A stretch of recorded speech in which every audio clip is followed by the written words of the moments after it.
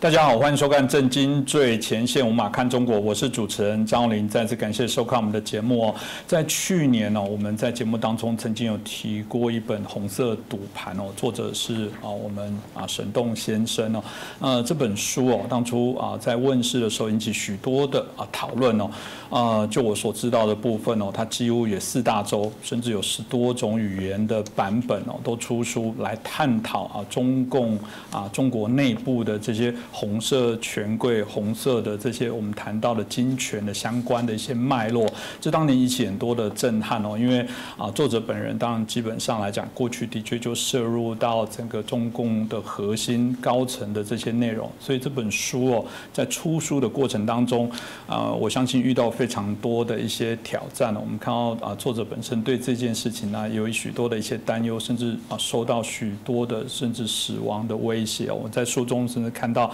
在出书的前一刻，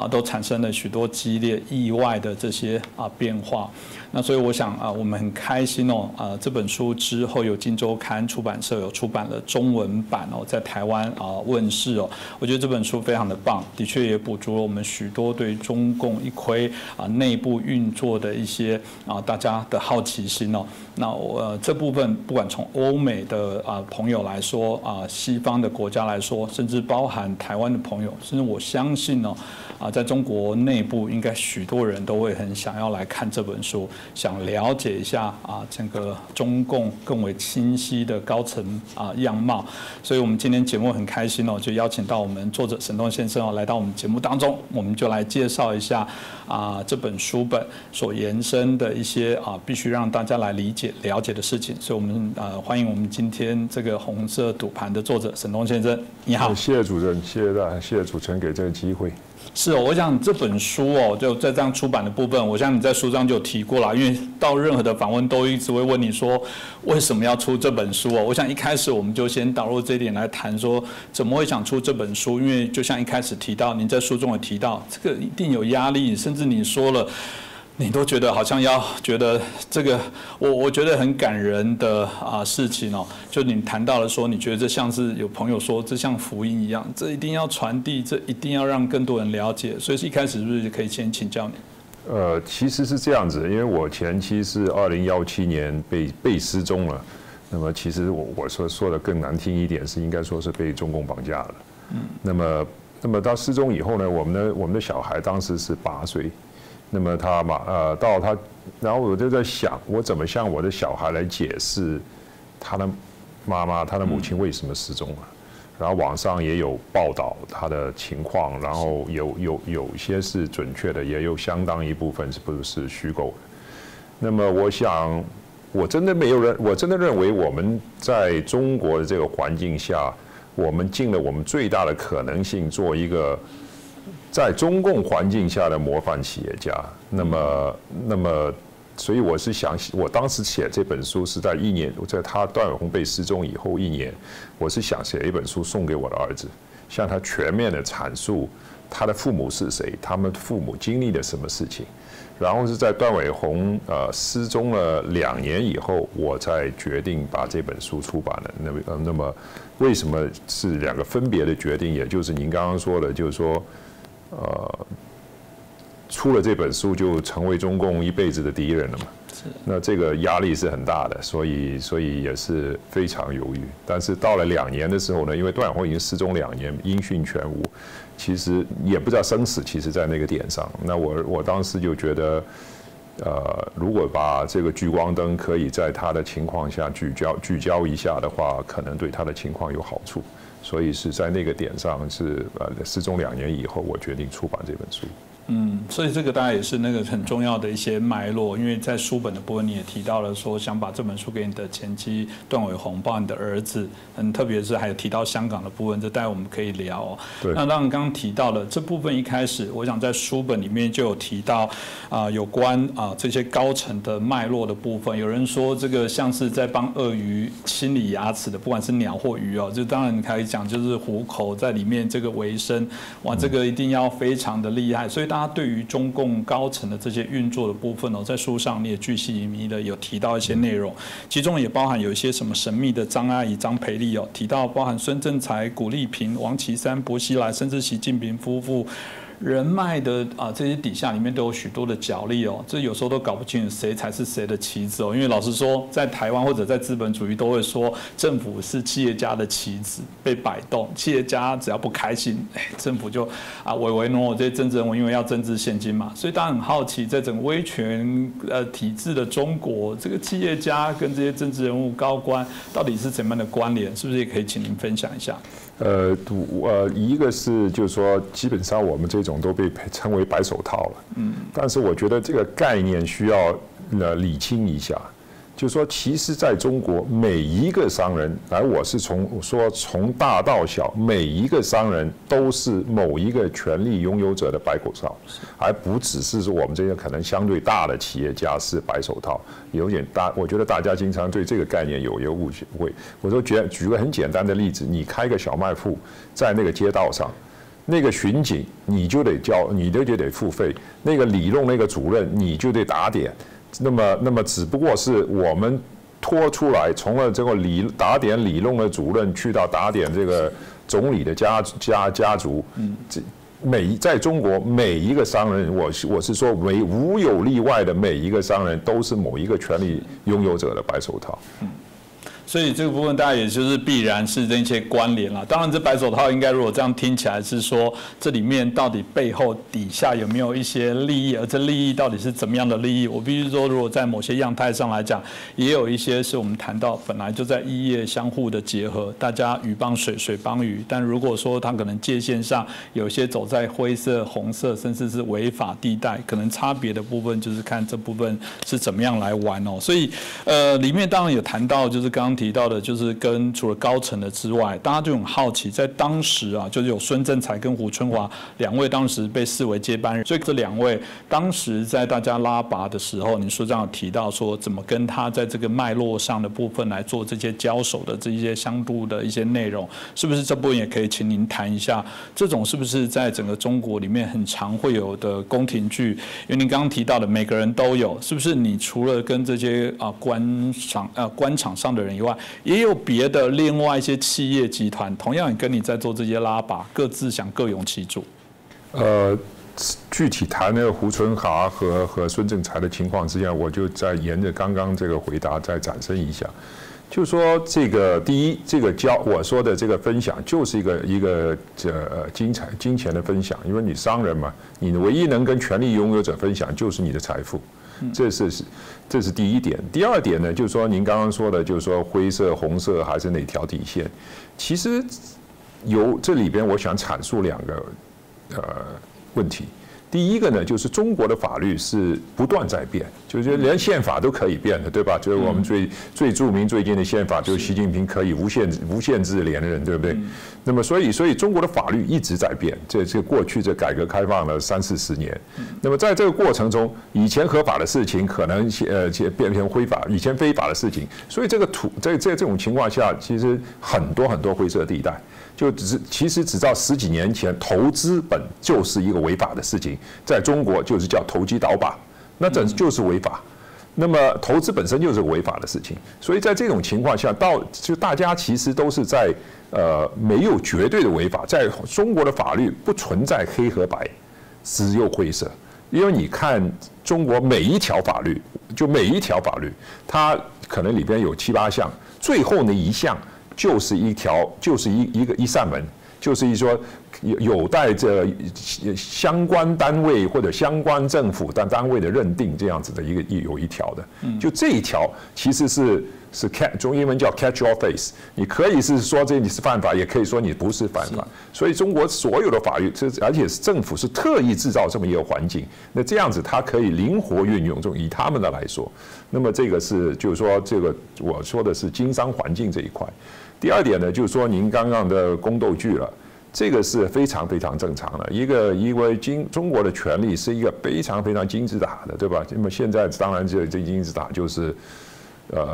呃呃呃呃，在我们习近平这个一人之上，千万亿万人之上了。那么，那么这在用金字塔的上这种情况下，就是某种程度就是你能上就我上不了。嗯，那么就所以就是一个你死我活的一个斗争。是这个部分，大家也是特别谈到。那当然，呃，我刚刚提到了，就是说，如果我们谈到的这个部分啊，不管是孙政才跟刚刚啊提到的胡春华，那个还是当初准备要上位的。如果再拉到更高的部分，我知道在过去，包含我们现在看到台面上的啊，曾经担任主席、总理的部分哦，包含习近平的部分啊，这些您都有在胡锦涛的部分都有过一些相对的一些接触。大家很好奇，那在这样的一个层级上的啊，就你们这些所谓的商人的。部分通常有怎么去跟他们做一些应对呢？呃，其实啊，他们每一个其实有有有，其实是有相通性的。就是说，虽然我们可能在高层，呃，做的事情会比较大，但是有一个共通性的商人跟他们共通性，就是你要预期他想要的，或者说你知道他想要的东西，你给他提供。那每一个权力拥有者，他的想要的东西不一样。有的人要钱财，有的人要你帮他升官，有的人要他帮你打，要他帮要你帮他打点他家里的家家的其他人的需求。其实你是在就是说满足权利，就是说你其实某种程度就是说是一个，就我我老我我这我我在书里边没写，但我老把这个温家啊，这个呃张培丽啊，就是他太太，他太太是其实是主主政他们家里边所有的事情。我们是，就是说，他好像就某种程度就像一个朝廷的皇帝坐在上面，然后下边呢有这个有一群这个臣子啊，就我们属于其中之一，然后每个人在其实，在在满足他不同的需求，然后呢，他也在某种程度呢，他在也在呃怎么呢，就是呃运用你们，然后让也有某种有时候还也还还制造一些这个内斗。呃，就就其实是像宫廷剧一样，就确实您刚刚说的。但事实上，样态上其实还是过去的这些帝制一样，听起来就是大家还是依着这个上面的，我有有权高位重的人在做这些相对的一些指挥。所以说来，如果这样来讲，至少这些啊相关的企业如果不做这件事情，看来是不是很难在中国生存？呃，对对，那第一个就是说回应您刚刚说的，就是其实是非常封建的一个体制。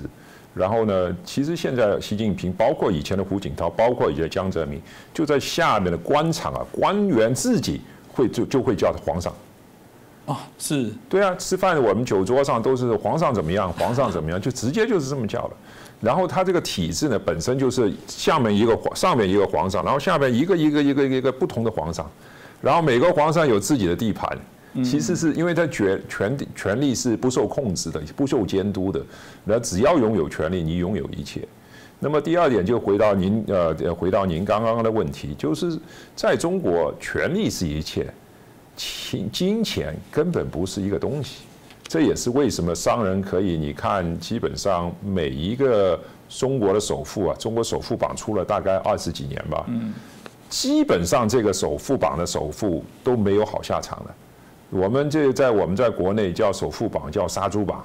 那就是哪条猪肥，就是肥的猪嘛，哪条猪肥的猪就上了榜了，然后就等着被宰了。所以不是好事。就我们常常有时候看到说，哦，中国现在首富该死了，就是你们后来的概念来讲，上到那个部分，等于是准备被代杀的。对对对，我们就叫叫杀猪榜嘛，首这个是呃首富榜就叫杀猪榜。对，如果照这样讲，大家一定会想要达到权力最上位。我刚刚也提到说，其实您看到就是准备要上位的，那或者要上更高位的，台湾大概印象中大家比较常记得的部分，因为有些人关心中国的一些政治，有些可能漠不关心。不过大家都知道，当时啊，习近平要上位之前，跟薄熙来之间的争斗很大，因为薄熙来原来也被预期到有机会也爬到中国。这个最高的这些共产党的这些位置哦，那当然后来就产生一连串剧烈的变化，甚至啊被牢狱之灾啊。这过程当中，我不确定您是不是也了解这些过程呢？啊，对，我在书里边也呃写了，这个确实也是比较内幕的东西，因为我们跟温家的关系，我们对一些事情很清楚。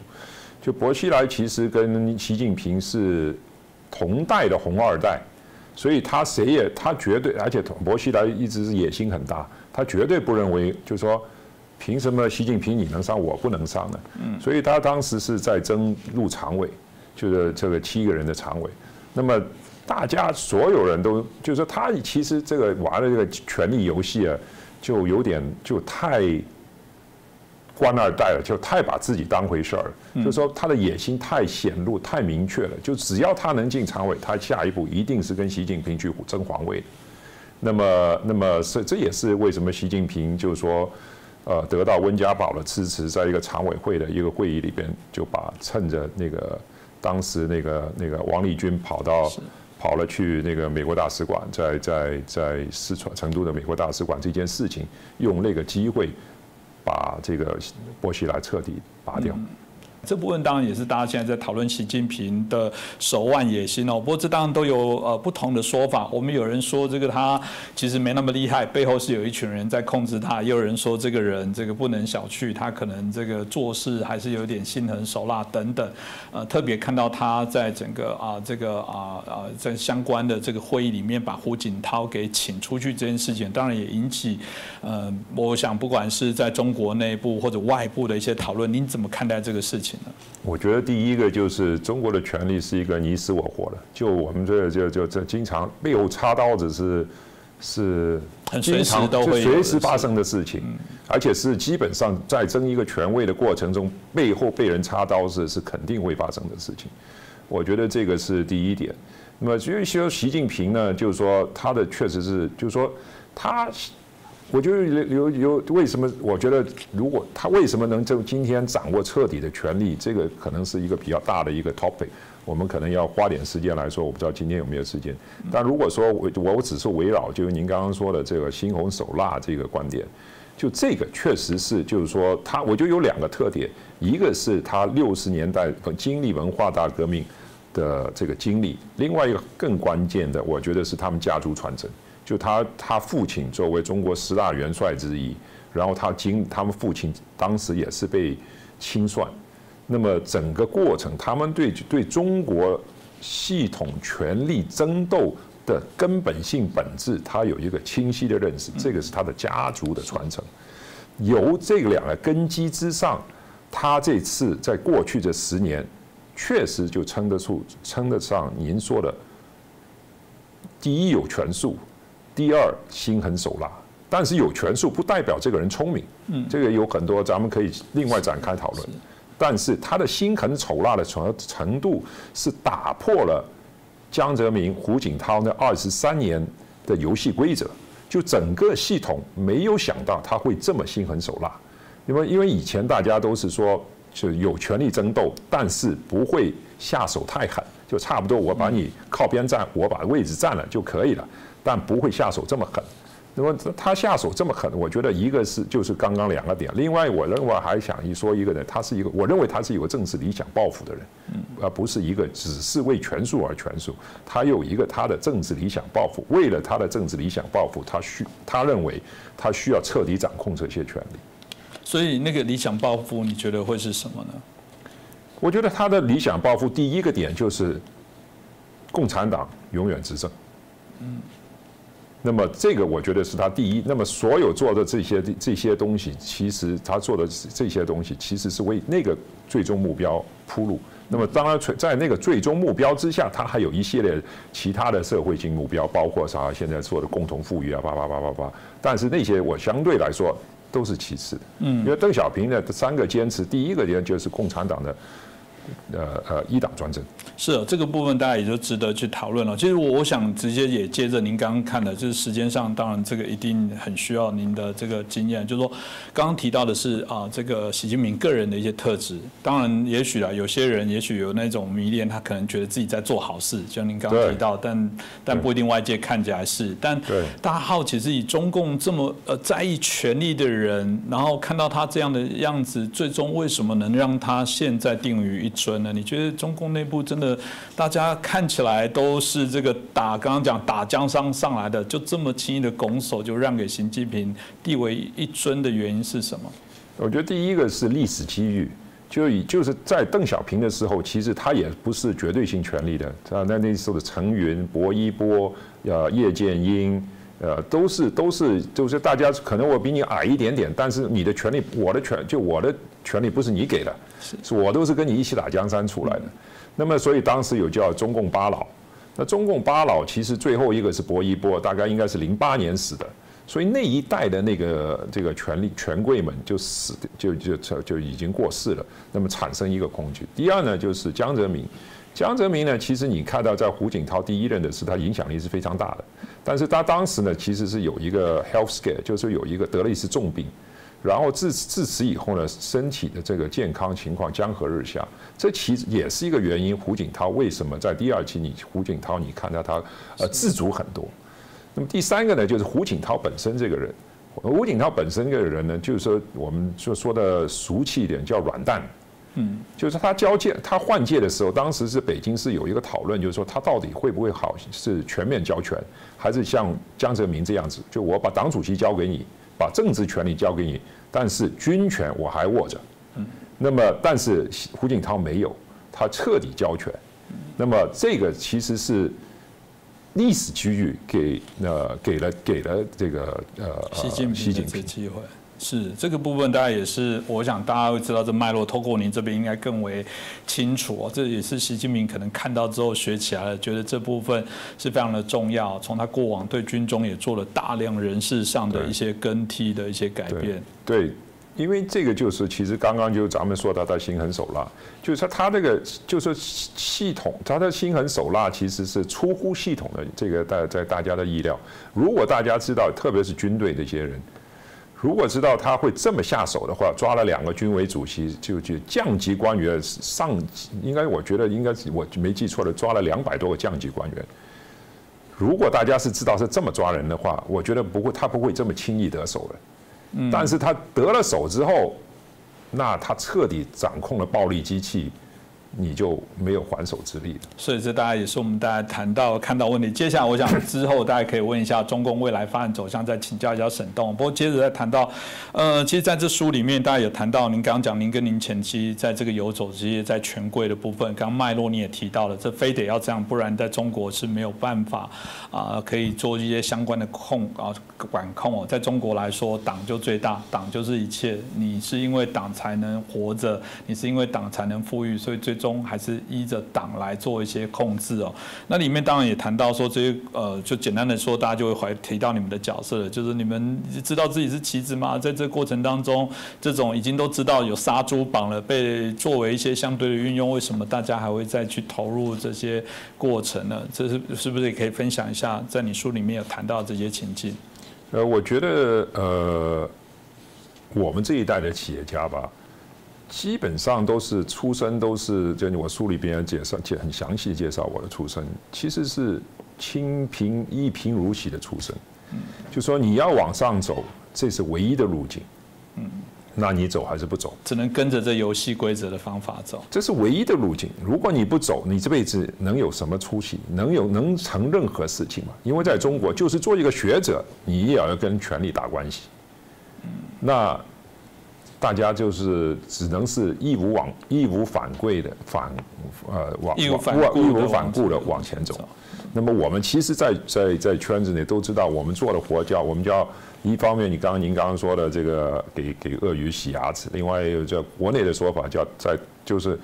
刀口上舔血的买卖。嗯，但这是无奈。这个大家回到也是台湾一直在问的问题，一直会喜欢问一个问题，说啊，现在中共对台湾不好，是因为习近平执政。只要有一天习近平总还是肉做的吧，除非他真的是神仙，可以长命几千岁，不然总他还是人生会有落幕的时候。所以只要习近平离开，这些问题就会就不会存在。其实照您刚刚的逻辑来讲，那不会的，那是体制，他体制就逼着你这么走，所以会有下一个人来。也许他的做法不会跟习近平一样，但结果不会改变，可以这么说吗？呃，我觉得彻底是就这么个事情，因为在这这无论任何问题的根本，一定是看它的一个一个呃系统性的本系统性的本质，就是您刚刚说的体制，就是如果是呃不是如果了，就共产党这个专制的体制，没有习近平也会出个李近平，也会出个陈近平，只是时间点的问题。嗯，这不会改变，这部分是还蛮会改变。嗯，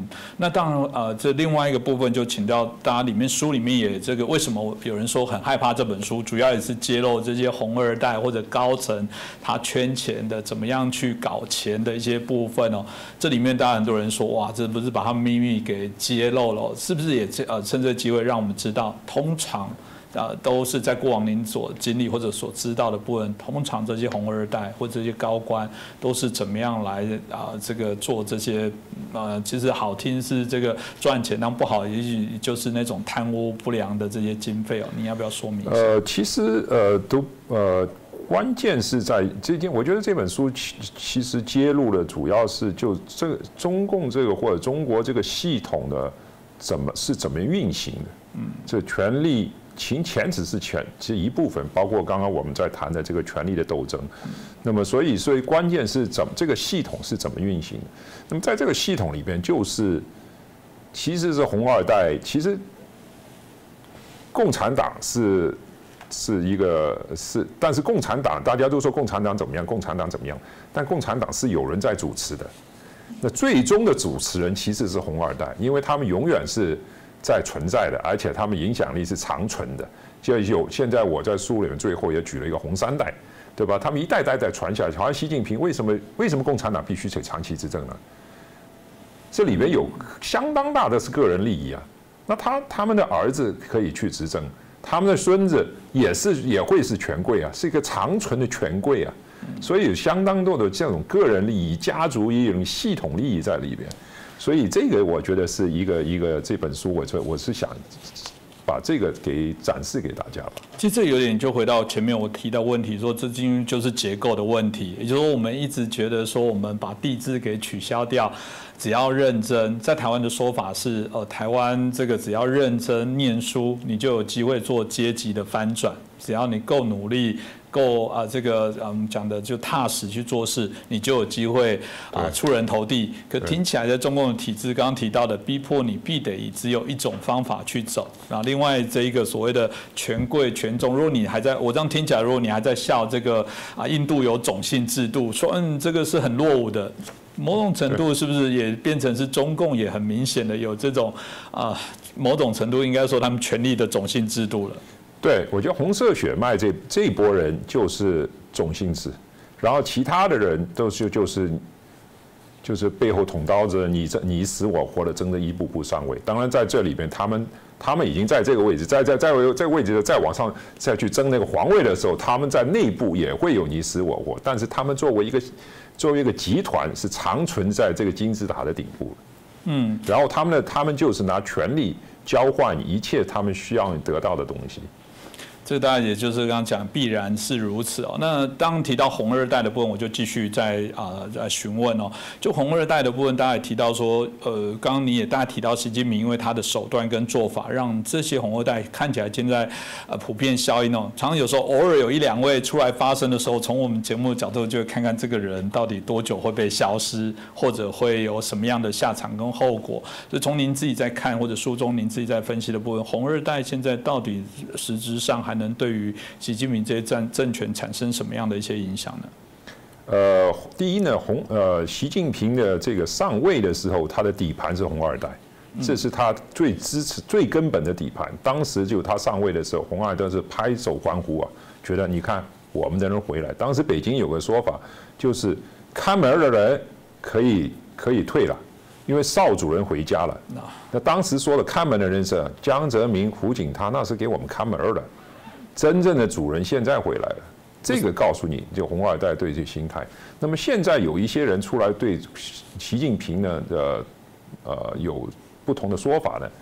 我觉得现在你看出来的说的人基本上都是很老的，老一辈的。就是说，第一呢，他们确实呢，这种这些呢，就是基本上红二代，他们其实还有一点红，怎么说呢？共产党的基因，就是说相信共产主义的基因吧。他还相信就是有一些共产主义基因，他们基本上批判都是从这个角度来批判的。为什么没有年轻一点的红二代在这里出来站站出来批判他呢？其实他们也对很很对习近平很多做法有不满，因为不满的原因是认为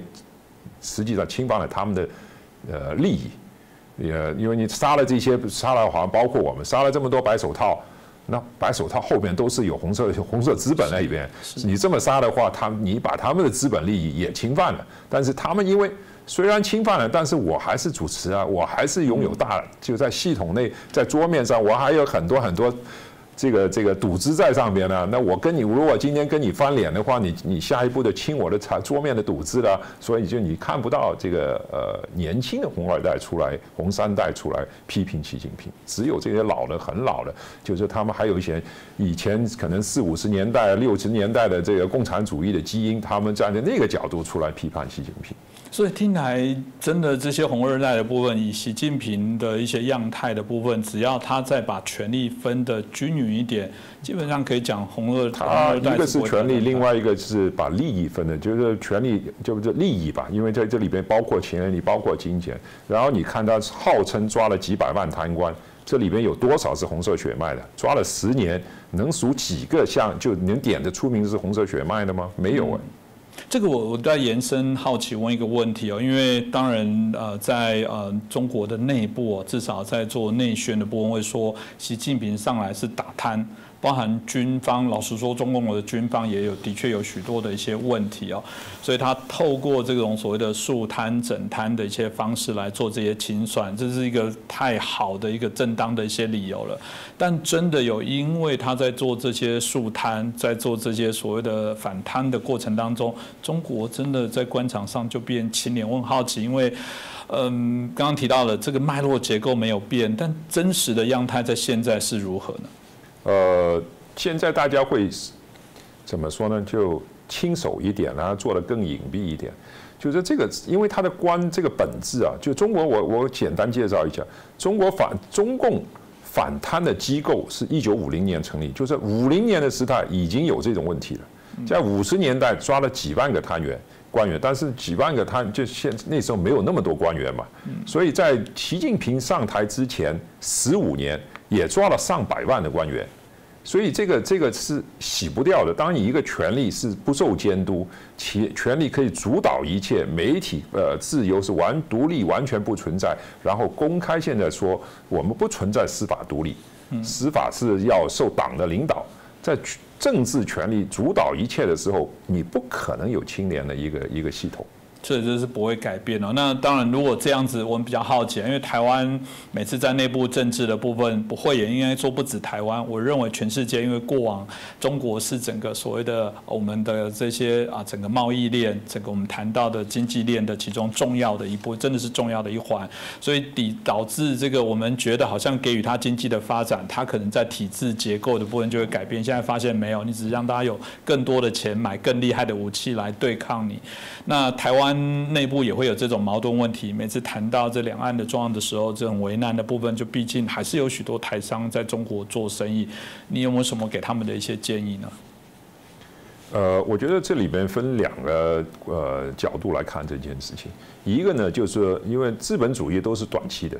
所以从商从商人角度来说，都是希望要赚利益。但是在这个战略意义过程中，经常是肯定是牺牲其他利益、社会利益，包括现在在台湾情况的国家利益。那这个就是其实是政界需要站出来的，因为他们是因政界的存在就是要守护国家利益，所以他那么所以这就有一个矛盾存在。那么这个是我说的第一点。第二点呢，就是说作为台湾来说的这呃企业来说吧。我觉得我我二十年前在中国的时候，十几年前跟国外的企业打交道，大家的第一个呃问题就是我要我要谈我的中国 strategy，我的中国政呃策略，我怎么能进中国市场，我怎么能中国市场发展，就每一个董事会都在谈这件事情。今天每一个董事会就在谈中国加一、中国加二、中国加三，就是每一个董事会就是对他的管理层都在说。你必须在中国以外有第一有一个、两个、三个的呃经营中心、生产基地。那么，所以大家都在往外分化吧，也不能说撤，就是就未来的走向基本上是就中国的工厂只是为中国生产。嗯。那么，台湾在这个过程中，台湾企业在这个过程中，如果大势是这样走的话，我相信台湾很多企业可能已经在这么走了。所以趋势大概大家慢慢已经开始往外移了。就刚刚提到，的确我们也看到从。这个很多统计的数据上是如此哦，这个大概一直在对应中共，因为不确定性，在书中也谈到了这种可以随便的没有依着法治的部分去让一个人去捕捉、去消失，连罪名都没有定的部分都啊是如此来做。那呃，我我觉得另外一个部分是你在这本书，我觉得也可以帮香港的观众朋友问一下，因为呃，您在在香港长大，对香港你也认为说那是你的家乡。那在香港这样的一些变化样态。之下，你又怎么看待香港未来的这些发展呢？有什么对香港朋友的一些喊话？呃，我觉得两个吧，一个呢，就是说我这本书其实呃幺九年的时候我决定出版，很大一部分也是因为香港发生的事情，因为我在香港长大，我看着这个，我也参加了游行，我看着这个年轻人这种牺牲的精神啊，我就很受感动。所以我觉得我我能够意的做这一点事情的话，我应该往前走一步，这也是推动我把这本书出版的一个原因。第二，具体对香港的未来呢，我是非常悲观的。我觉得香港应该说香港已经终结了，就过去的香港已经终结了。现在大家知道，我们香港人都叫新香港啊。嗯。香港走现在的唯一的问题就是往下走的速度，就往下走是必定无疑的，只是往下滑的这个速度到底是以什么速度往下滑？是，那另外对台湾呢？因为有人就说今日的香港就是明日的台湾。如果香港现在已经完蛋，那台湾呢？因为，呃，一开始其实，在书中也提到了，你也很很很珍惜说，在华人在整个华语的使用的过程当中，台湾还可以来比较整全面的，然后受到保障的，对于中共的体制的批判啊，去做一些观察等等。那你对台湾会有什么样的一些建议跟想法？呃，我是非常喜欢台湾的。其实 COVID 之前，我基本上每年可能来两三次台湾了。我我小孩子还现在还追着我说，今年能爸爸能不能叫我去台湾？是是，我觉得是台湾是这样子啊。我们希望呢，就是说，一个我们希望看到台湾更我说更硬气一点啊，就面对中共的时候更硬气点。无无论是外国代理人法案啊，或者是你们的现在这个募兵制啊那些，我觉得更硬气一点。另外一个我想提一个呢，就是说，呃。现在其实，在随着香港的这个下差下沉下滑吧，亚洲金融中心这个位置是腾开始腾空出来，然后台湾其实在这方面是可以扮演角色，应该心更大一点。就是说，我觉得这如果是要宏观一点说，我认为台湾应该心更大一点，在随着香港的被消失。应该在华语世界里边唱起一个主角的地位来，而且你你是华语现在唯一的一个独立的国家，你应该去去来唱这个独角，来来包括就我刚刚说的，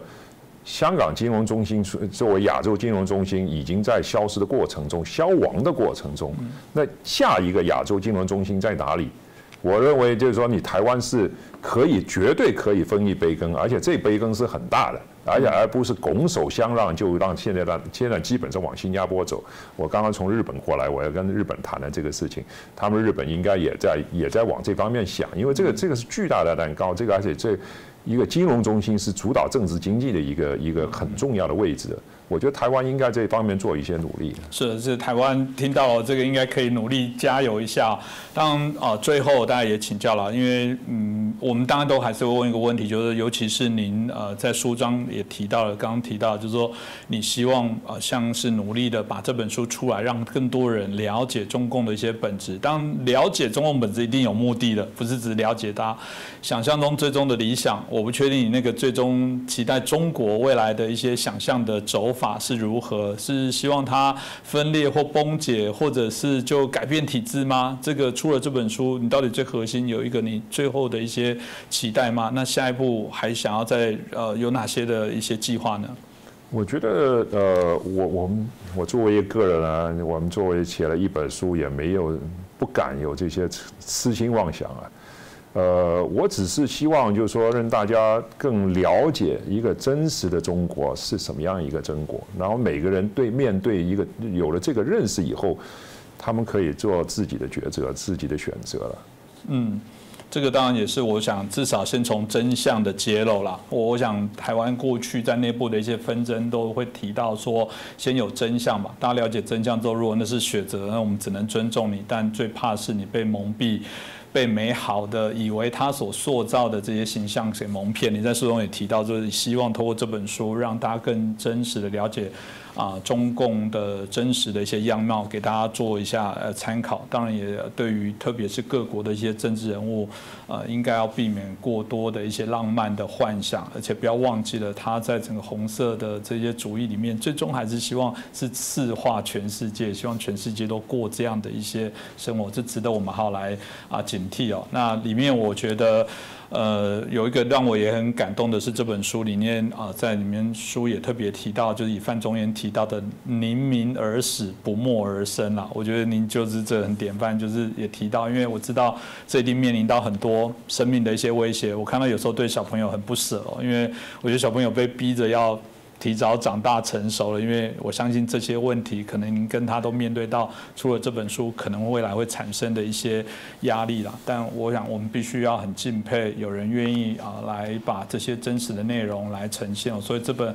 红色赌盘哦。啊，我很推荐大家啊，可以啊把它放在案头上，这是我们必然必须去了解啊中共的一些啊运作的一些啊面向脉络，可以让我们更清楚的知道如何来对应它。那这部分也很谢谢我们沈栋先生出了一本这本的书籍，然后让更多世人可以了解中共的政权本质哦。那就再次感谢我们沈栋先生接受我们的访问，也感谢大家收看。如果喜欢我们这一集的节目，也欢迎大家帮我们转传按。赞、订阅、分享啊，给更多的好朋友。那如果您啊有任何的一些问题，也欢迎您可以留言，我们也尽量的可以来回复您。再次感谢沈东先生，也感谢大家的收看。进入下下循环呃循环的一个过，不是循环吧，轨道的一个过程。呃，至于说中共，我倒不认为他会垮台。他不会因为经济问题嘛？因为之前我们有教授经济问题是，我认为经济问题是不足以让他垮台的。哦，这蛮有，因为我们之前有学者他的说法是说，后来因为包含整个六四运动之后，他觉得企业家有个默契，只要你让我可以维持赚钱的部分，政治给你。这个这个是一个很经典的一个西方学者的一些看法了。其实是的，我因为他彻底掌控了暴力机器。然后八九民运很很充分的向大家展示，我是会运用所有的暴力来维持我的政权的。那这个是就就这个这，而且现在用高科技的手段分化到每一个人成为一个例子。我觉得我很难看到，就是说，这我是为什么很悲观？我不认他认为我有机会这辈子才能回中国了。这可能就是在，但当然就是有梦最美啦。在台湾的说法是一种还是期待。那当然有些也谈到内部的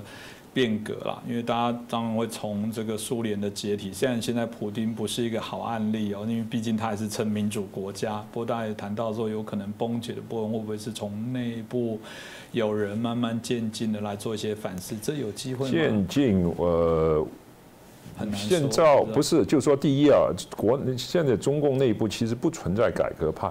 然后这个就说有些人有这个比较比较民主的倾向，但是你要成为一个政治派别，你是需要有一个组合的，但中共内部其实没有这样一个组合，没有一个改革派的这些组合，没有，因为有的话，他已经今天已经进严进监狱了，肯定清光，肯定肯定把你 清了。所以就是说，在可见的未来，就他会有权斗。那么，但是反正我是看见看见的未来，我看不到中共倒台。目前，就是如果这样子回过头来讲，就算他不倒台，但外部至少不让它渗透跟扩大。对，其实说的咱们也这个说的更彻底一点吧。嗯。就是说，呃，面对中共，最根本国国际能做的，就是要打压他的经济。当中共这中国的经济萎缩是的下的所你中国包括台湾，你面对所有的问题都会是另外另外一个问题，就我这问题会是倍数的缩小。嗯，所以有从那个角度来说，我认为呃，今年的这个经济这个经中国经济的表现很关键。就是说，因为今年是去年的反弹嘛，因为去年实在太差了嘛。那么它实际上反弹以后，在明年的话，再往往后几年基本上都是往下的，就是跟跟今年比。所以今年的到底的反弹的力度是什么样？对对，未来三四年的经的经济走向有很指导性的意见。但是如果说今年反弹无力，然后未来走向更低迷的话，那往前走五年，中国经济另外完全另外一个状态的话，那它还有没有这个能力来打台湾呢？因为他打台湾的时候，他一定是面对国际的巨大的一个一个反弹。那他还他如果经济未来五年经济急这急剧的往下走的话，他有能力承受这个反弹吗？如果他没有能力承受这个反弹的话，他还能能打呢？所以我觉得经济从这个角度来说，我认为今年的这个。反弹的力度其实有很指导性的意义，所以就从经济的手段可能是暂时的，当然不是呃这个不是这样，这是长远的。你把中国的经济打下去以后，所有问题，现在中世界面临所有的问题会小，是一个分子的问题了。这个倒倒，我觉得这部分的确在在说法会更是很具体，我觉得这部分是可以可以理解跟期待。对啊，感谢，谢谢，谢谢，谢谢，谢谢。或者是我们稍微补个画面。OK，好。